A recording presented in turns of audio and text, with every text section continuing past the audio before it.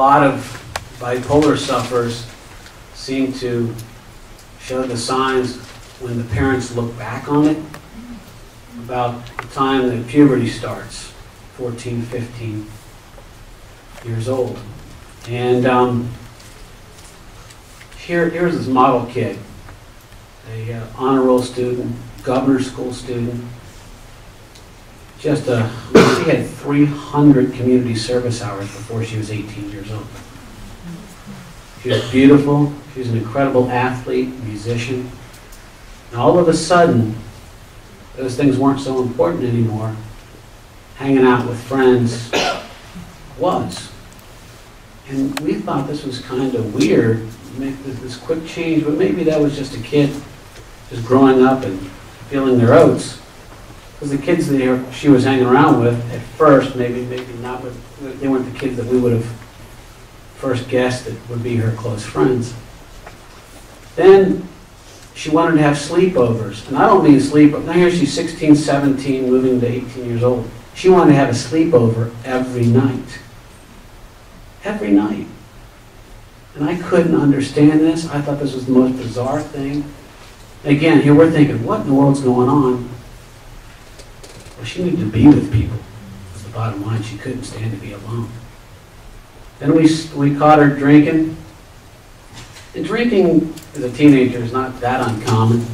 But when you get drink to get drunk at age 15, 16, 17, her sister once commented, Carol Anne doesn't drink, drink, she gets, she drinks to get drunk. She was self-medicating at this point. We're starting to see, wait, this isn't normal either. Then she started sneaking out of the house. Well, guess what? Kids sneak out of the house from time to time. Well, she made a habit of it, and sometimes she would forget to come home. And let me tell you, as a parent of a 16-year-old who's not there when you go to get her up in the morning, it's a horrible thought. In the middle of the night when you wake up to get a glass of water and go check on your children and one of them isn't there. That's horrible. Well, that wasn't enough. Carol Anne got bored of sneaking out, so she started sneaking people in house. Yeah, you can joke about that all we want, but Carol Anne needed the adrenaline, she needed the endorphins, she needed the serotonin or whatever other chemicals that this risky behavior started to bring forth. And oftentimes, now looking back, this risky behavior greater than an average kid would have. And that led us to really look into get her in counseling, and that's when the bipolar disorder was uh, revealed. And this is, this is a difficult question to ask, but you've taken a terrible, terrible situation, a nightmare situation, and you turned it into a personal crusade to help other people. Uh, You make appearances all over the area, you're working on an interactive website that will help people. Based on your painful experiences, what, what can you do to advise folks who may encounter some of the signs that we've been talking about up here? If you could parachute in and, and deal with the situation again, how would you deal with it? First of all, in our case, and our, our focus is bipolar disorder, when you see friends that are manically excited, Carol Anne used to say, I'm so hyper, I can't stand it. She would just talk and talk and talk and talk, and she couldn't sleep. Her mind was rushing at 150 miles an hour, she would say. And other days, maybe the next day, she couldn't get out of bed, would sleep on, sleep for days on end, it seemed. We'd have to drag her out of bed at 3 or 4 o'clock in the afternoon. When you start to see this type of behavior or talk of suicide, now, she was asked by us, she was asked by her counselors, do you have suicidal thoughts? She said no. By the way, she was a great actress, like Nick. Um,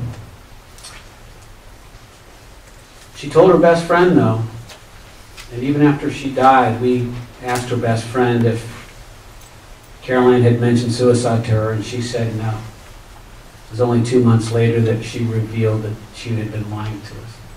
Carol Anne had talked about suicide. Of course, we, she thought that we'd be mad at her.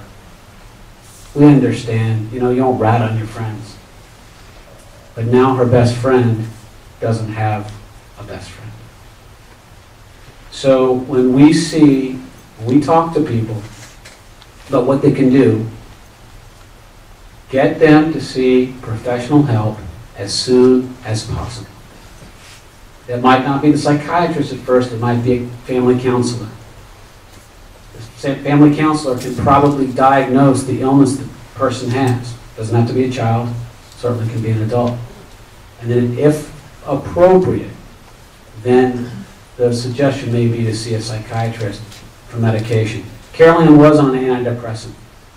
And as, I think we're going to show a video here, you'll see that we took her to UVA for psychological counseling, testing. This is where I get pretty passionate, folks. They tested her for eight hours and talked to us for 10 minutes. You cannot get a diagnosis, a true diagnosis of somebody's mental illness by going down a one-way street. You must interview the loved ones around them, their friends, but primarily the parents. In the case of a teenager, to see what the real person's all about. They came back and said that she had depression with some anxiety. But let me tell you something. There's a lot more than that. She should have been on a mood stabilizer along with her antidepressant. She should have probably had a cocktail. And I'm not saying that that would have kept her alive, but she's dead today. And perhaps it would have helped. We are going to show a video in just a moment, but you are working on this interactive website. How is this website going to work? And what do we mean when we talk about it being interactive? Okay, we, we, we hope that this will be the most comprehensive, interactive website in the world on bipolar disorder awareness. It will have several components. One will be an area where folks can go and take an assessment or take an assessment for their children. A place for parents to go, a place for sufferers to potentially go. There will be a place where they can, we can go to links that have, that have experts, that have for years written articles that are posted on the internet on different questions about bipolar disorder. You know, we're not going to replicate that work. We're going to have links to everyone that allow us to have links in these different high priority areas. We also, a very important part of this will be support rooms. You might want to call them chat rooms, we're calling them support rooms. There's going to be different support rooms.